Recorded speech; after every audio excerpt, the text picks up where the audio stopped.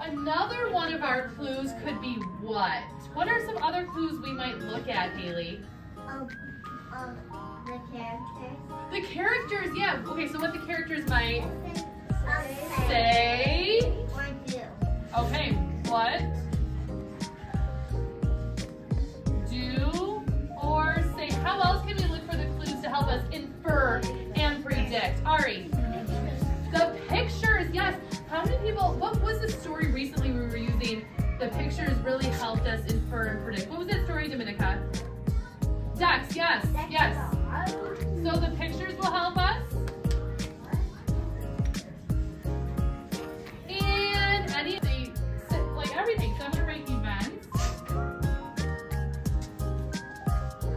Anything else you want to add up there right now?